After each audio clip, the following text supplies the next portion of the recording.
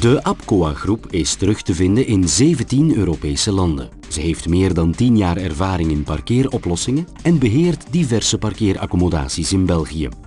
APCOA Belgium verzorgt zo dagelijks vele tienduizenden parkeerplaatsen.